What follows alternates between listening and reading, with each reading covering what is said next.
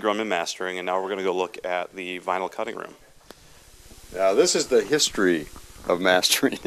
In fact, this is what I grew up on. So this equipment, is, I, I have a very soft place in my heart for this. But we still do a lot of this work. We still do a lot of disc cutting for vinyl. Uh, you don't might not see a lot of these because they're used for promotional purposes, but they're still used a lot in clubs, especially with the rap and hip hop, and like all the way from that street stuff all the way to the highest quality, high-end audiophile recordings. So we do also a lot of mastering for those reissues that people know about that are in the high-end audio field.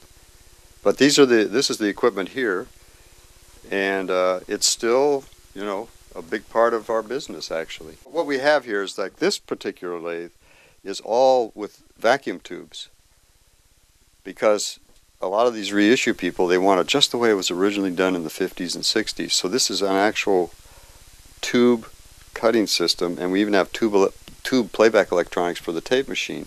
Whereas the other machine is all solid state. It doesn't look that much different, but it's solid state the way it's driven, the, the power amplifier and so forth. So it's got a lot more power, and you can make these real hot, you know, club dance discs and so forth. But again, it's solid state, so it's got a little. It's not as sweet a sound. It's a little got a little more edge to it, but but for that kind of music, it's fine. So uh, we have a little of each here. You, you, you, can have your choice. I know you said the moldings on these are the originals. I mean, the motors have been replaced. Yeah, every yeah. The the castings are like these are um, American lathes. They were made by a company called Scully, and uh, they're beautiful lathes because they're all cast aluminum. It's something that would be very hard to do nowadays. It'd be so expensive.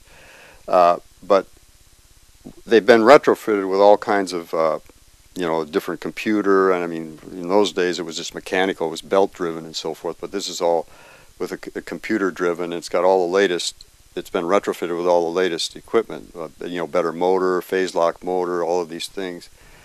So, but uh, but it's uh, it's a real old workhorse though. The, these lathes. They last forever. All right. Well, thanks again, and uh, we'll head down to the room.